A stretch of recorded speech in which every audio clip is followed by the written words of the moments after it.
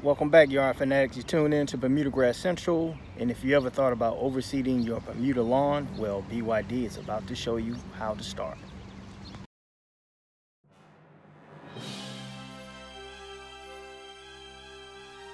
You're watching Bermuda Grass Central, changing the world one yard at a time.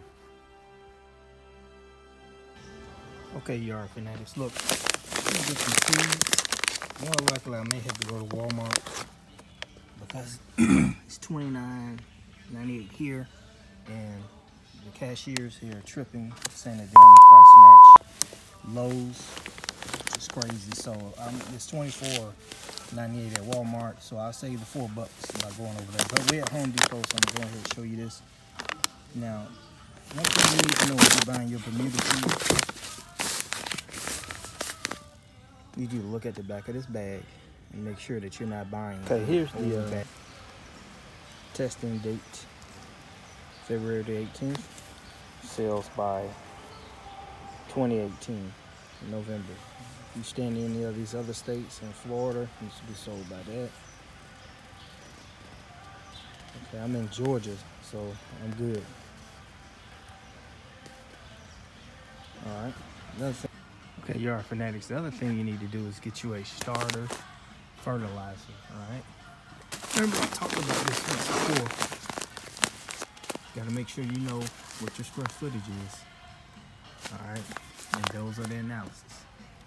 24, 25, 4. Now, bear in mind, if you get this starter fertilizer and you're to overseed, then you will not need to fertilize your yard with the fertilizer that you probably plan on using. And remember, I said this this is a excellent choice right here.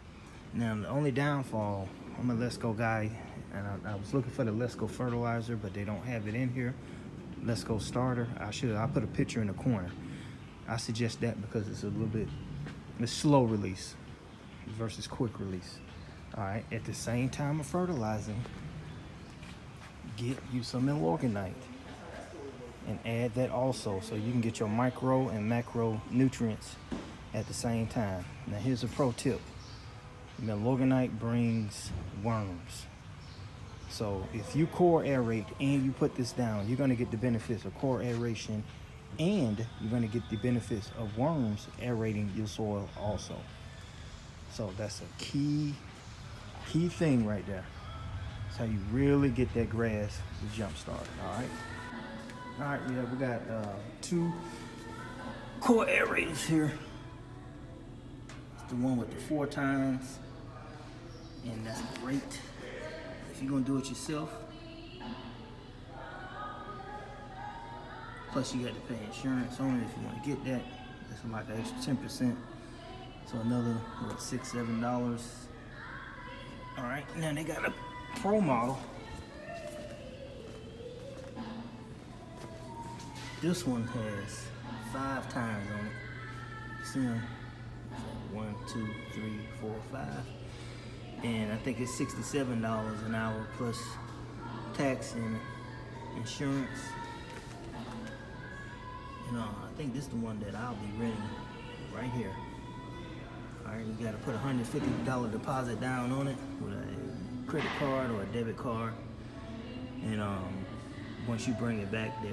Now they're gonna literally take the 150 off your debit or credit, so you better have that money in your account. And um, let's see what happens. All right, we're gonna we're gonna rent this one. It's uh 70 bucks basically for four hours.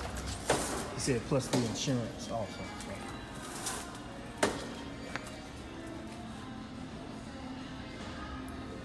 Okay, Yard Fanatics, look, I just rented it from Home Depot. I had to put $150 down on it. I got the insurance. Total, if I get it back in four hours, it'd be $78.86. Remember, you sign a contract with these people. Make sure you get the contract. This is the Pro Aerator. Uh, I need to have it back by 2.03 p.m. And um, you can see, yep, BYD. That's the um, one I rented it from right there. So we're about to get started.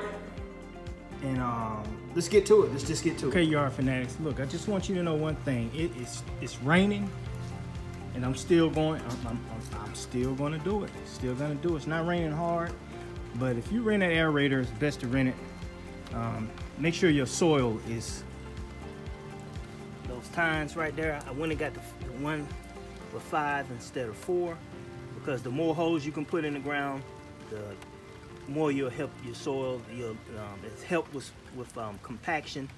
The more nutrients you get to it, the deeper your roots will go. Um, it's just a better deal. Now this is Ryan.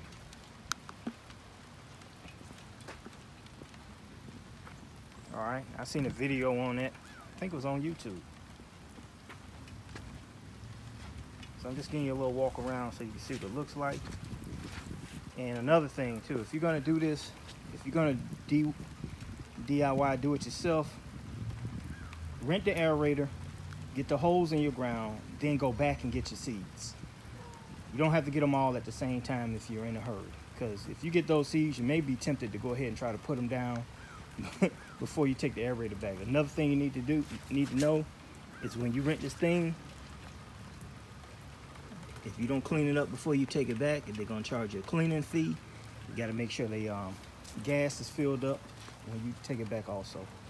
So um, like I said, this is gonna, I'm trying to make this quick, so I'm just gonna go ahead and um, film me aerating my lawn.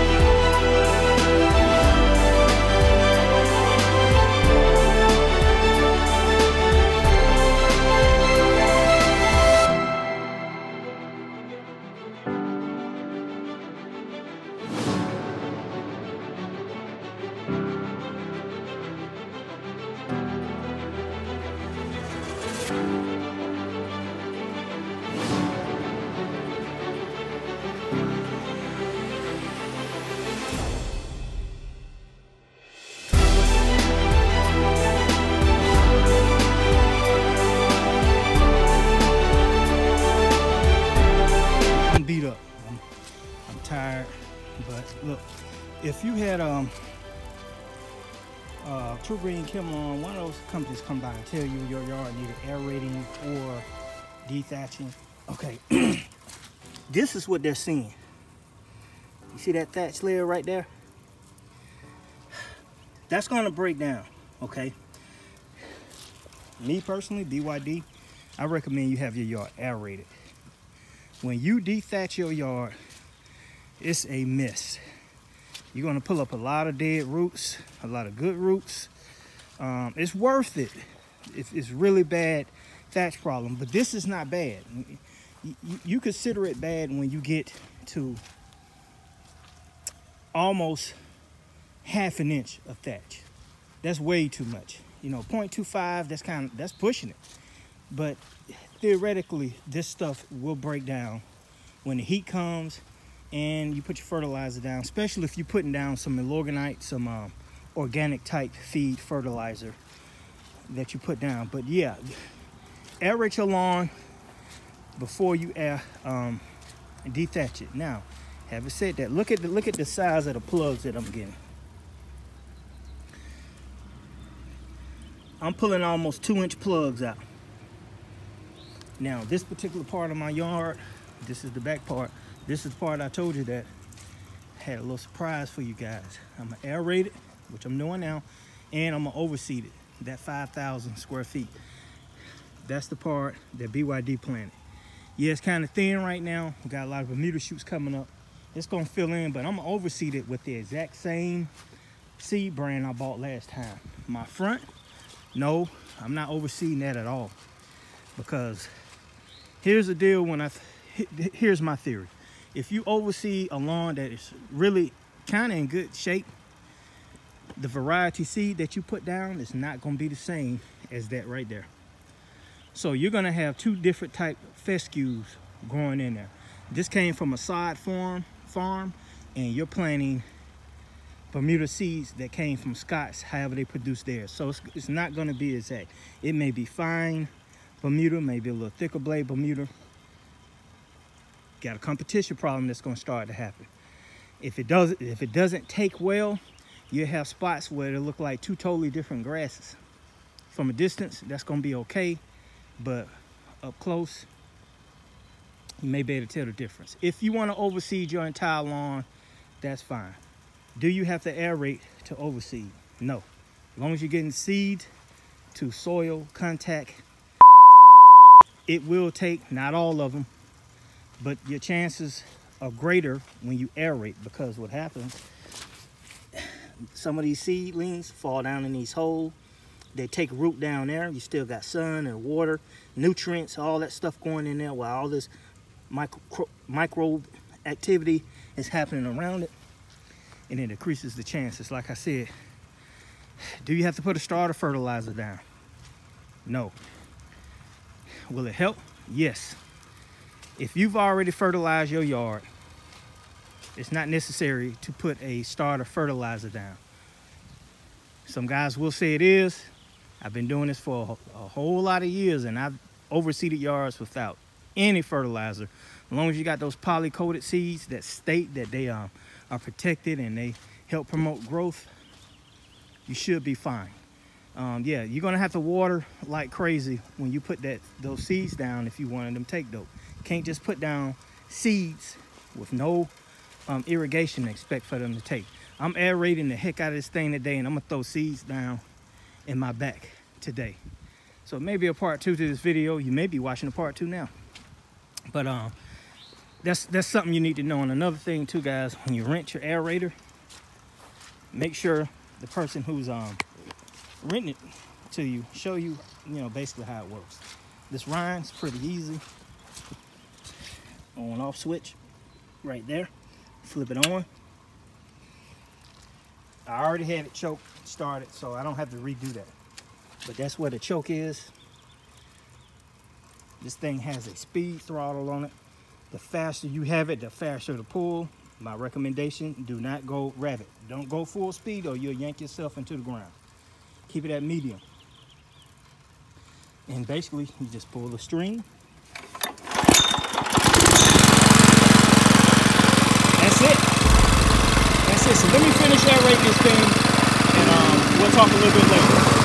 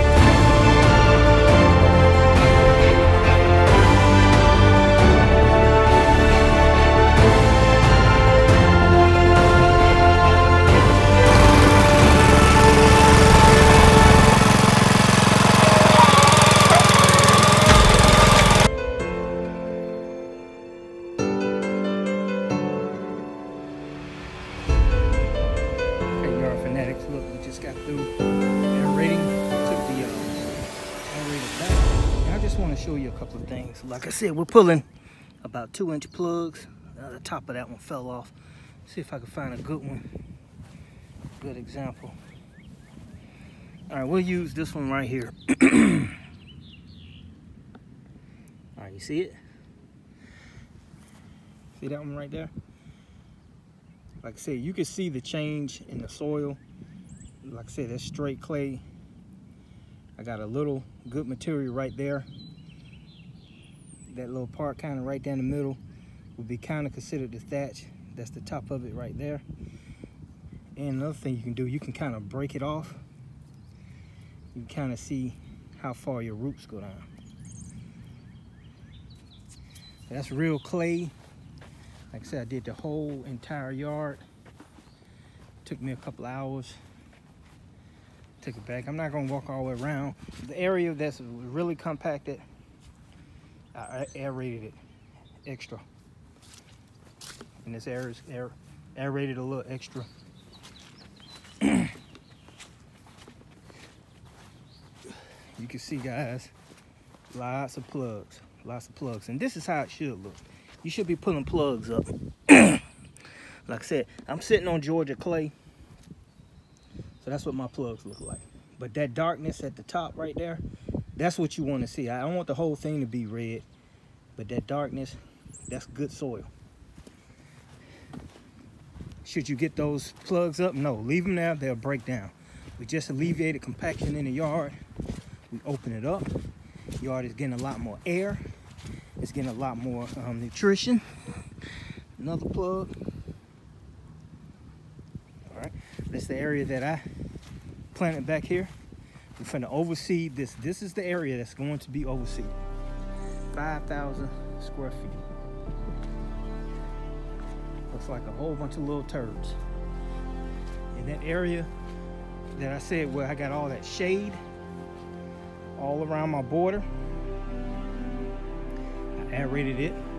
I'm gonna overseed it, but it's not probably not gonna take, but I'm still gonna keep trying because you need at least eight hours of full sun for that Bermuda to grow and spread. All right, the Poa annua starting to die off. You can see a lot of spots where it's real yellowy. Not gonna really make a big focus out of it, but kind of right there. All right, guys, this is part one. All right, part two is coming up that's going to be the overseer. So I'm glad you watched this video. Like I said, coming around, that's where the water drain right there. They're ready that extra hard. It's looking good, y'all. Looking good. Looking good. Okay, guys, remember, you're tuned into Bermuda Grass Central with BYD. I am Michael Bowman and I'll talk to you soon.